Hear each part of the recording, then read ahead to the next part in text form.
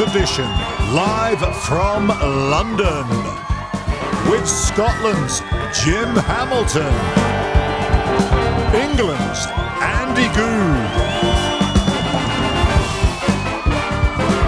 Ireland and Lions Stephen Ferris.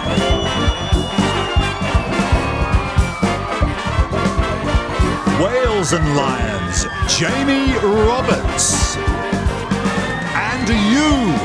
The fans.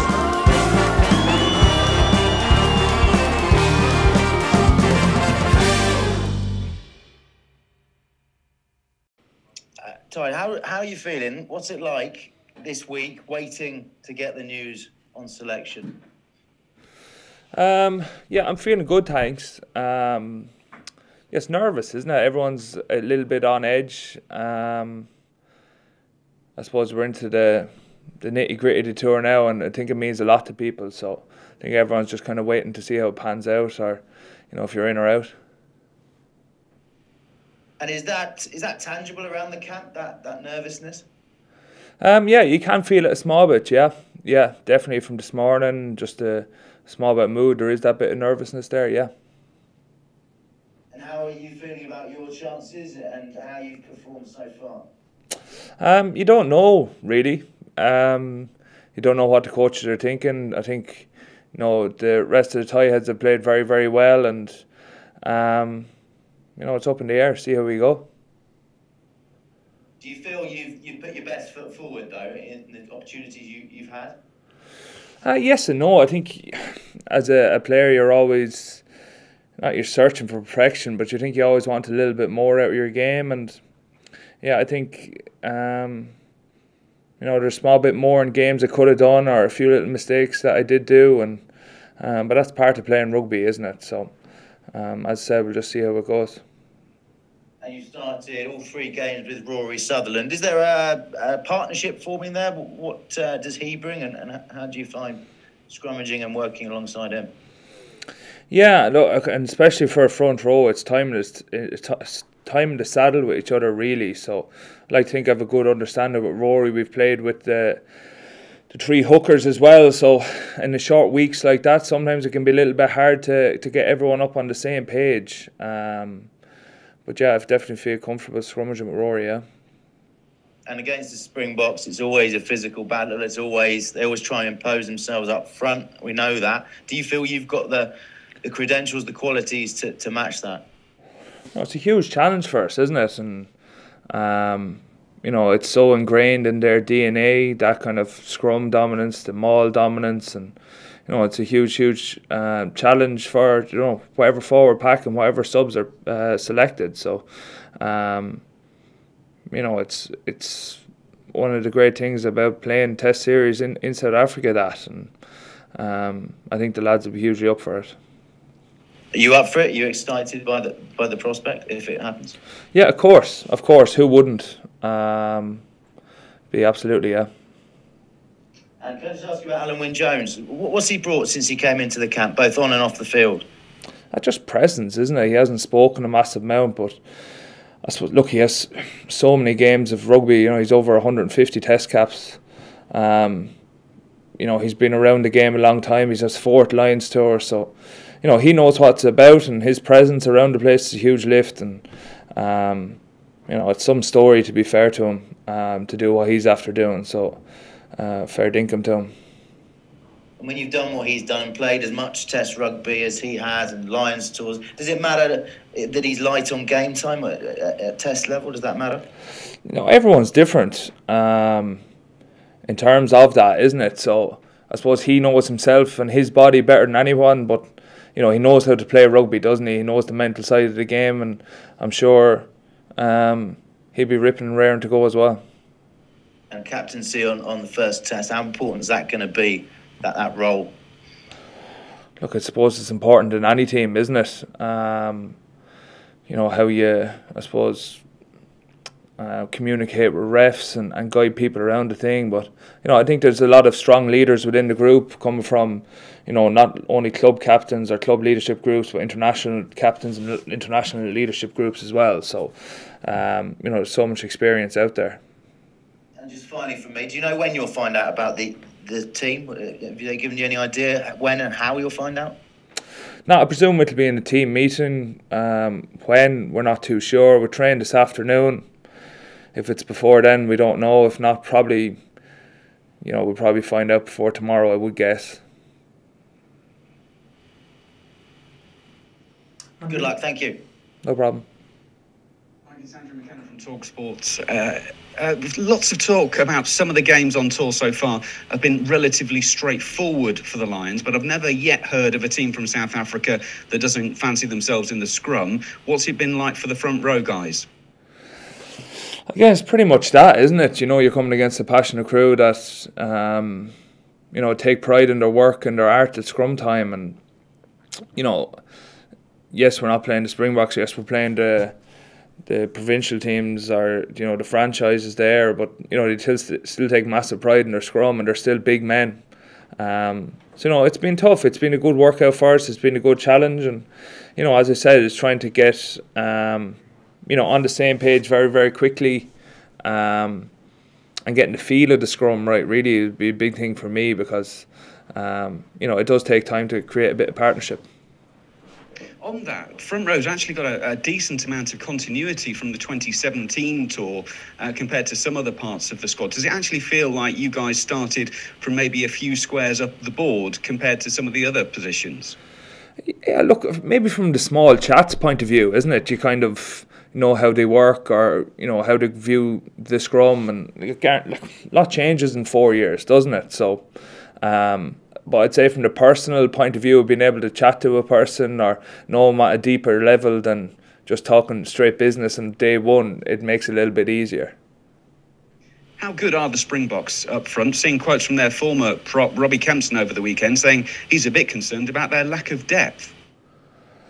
Yeah, you look at the squad they have. I know they had a few issues with COVID or you know self isolation there, but you have the you know the bones of a you know, a World Cup winning front row, and we all know what they did at the World Cup there. And you know, they've some players that you know haven't played against us in the in the A games, and that'll be coming back in, and you know, they're very very dangerous operators.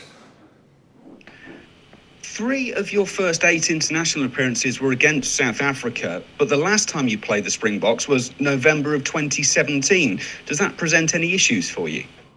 Um, that's good homework. Um, Ash, look,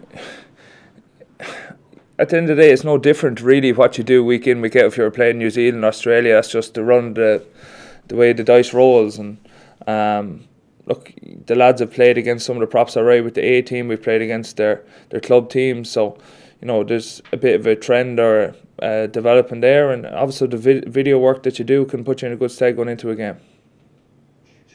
Nic Berry is the referee on, on Saturday. Uh, Aussies and Kiwis tend to view the scrum more as more as a restart. Does that change things? Does that change any of the approach for the weekend?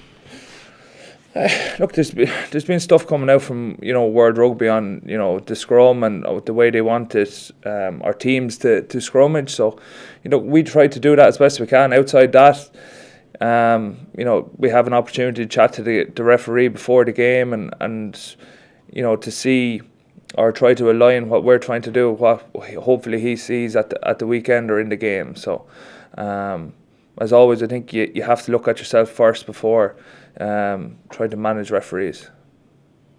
Thank you. Hi, how are you? It's Michael Corkin here. I'm just wondering when the team, uh, the tw- when the 23 is selected, I assume there'll be a little bit of this sort of tension gone out of the press. How important is it that you try and stay as relaxed and focused as you can and not play the match too early in your head or let your match or your, your mind kind of drift ahead towards uh, the weekend. It's massive, isn't it? And you know, it'll be good to get it out there whenever it is named and let lads deal with it the way you know they deal with. It. As I said, there are a lot of experienced players in the group here, and you know, it's a test match. It's we're back to a you know a full week's prep, which feels a lot more normal to all the players here, and um, and then we can just get get on with our work really. And when it's time to switch off and enjoy each other's company, we can do that too. Uh, given the fact as you described it as a test match, you're against the world champions, you're against a you know a world class front row. and reserves on the bench as well. I mean, is this the kind of ultimate test from a rugby playing point of view? Yeah, it's big boy rugby, isn't it? It's top end rugby, and you know, as a front five, it's a, a very good barometer where we're at. And just from your own point of view, not alone can you prop, but you can now run pretty fast and pass as well. Is that other parts of your game that you've been working on for the last while? Um, yeah, I, I remember during lockdown there, there was a lot of Lions game on. There was a lot of Lions at 2017 tour on, and you kind of look back and you think of, you know, I'm, I'm not doing a whole lot in the game. You're working hard, yes, you're kick chasing, you're working hard in inside in defence, but there's not a whole lot much more going on other than the set piece and, and trying to hit rucks hard. And I'd like to think that you know I've added a bit more to my game there, and I'm certainly not there with or at the where it can be with some of the aspects in my game. But I think that's part of road player, isn't it? You're always trying to to push it on or, or drive on and get that a little bit better. Cool. Thanks, man. Hi, Tadhg. Uh, Sinead here um, in Virgin Media. How are you? Um, Corky asked you there about, you know, is this the ultimate test? You know, um, we know how dominant they are and how strong they are in the maul and the scrum, but do these kind of games, do you feel even as unique as they are, bring out the best in you as well? Um, yeah, like Sinead says, like it's big boy rugby and, um, you know, it's at a big stage and you can feel that around the place. You know, you can feel that it's a big week and it has a lot of importance on it. And you know, I think as rugby players, people generally rise to those occasions, um, and just that internal want to win and do well. You know. Can I just ask you about Conor Murray as well? Obviously, as a you, you know Ireland teammate, how has he found the last few days? You know, um, the captaincy going back to Alun Wyn Jones after him getting it. What what's he been like? Actually, a lot of people know him, and he's he's very laid back, isn't he? He's near horizontal at times and off the pitch. So, um, you know, it's water on a ducks back to him. Um, he was delighted. He was but Limerick won yesterday, won the Munster uh, hurling championship again, and uh, he was in cloud nine there. And just finally, from for me, um, you mentioned there means different things to different people playing in these kind of tests. Like, what does it mean to you? What would it mean to you to play on Saturday? Actually, it means it means so much, you know. Um, not to get personal about it, but I've been through you know a rough enough year with injury and stuff like that, and I suppose there's always a light at the end of the tunnel where you know why are you doing it? You're doing it to try to go on a Lions tour, aren't you? And um, you know to try to, to do something special as a group of, as of a group of players, and you know that means a lot. Good luck. Thanks, Mike. Hey, Doug, how's it going? Uh, what's the crack with you being a DJ now? Uh, it's over egged. Um, to be honest with you, really. Um, long and short of it is Tom Curry found decks. You know, they brought a lot of stuff over here for us, um, just to keep us entertained. Obviously, with the hotel and stuff like that. So, Tom Curry found decks and decided he wanted to be a DJ. And I was like, look, let's let's have a go or a bit of crack. Try to learn a new skill or what have you. And it went terribly. Um, and then we found out Josh Navidi or Navici, as we're calling him. He actually is a DJ. He actually does a bit of DJing in clubs. So we tried to learn a little bit off him. We've done a coffee morning, heavily helped by Navici, and uh, that's about it. We're terrible. I wouldn't be trying to sell any tickets or at night time soon. Go well this week.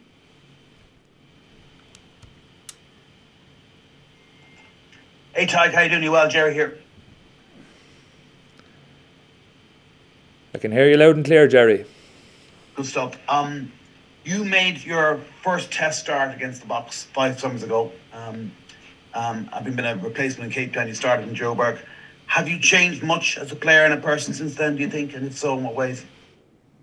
Yeah, I'll probably come back to what you said. I said earlier as well, just about you know you're always at trying to add strings to your bow.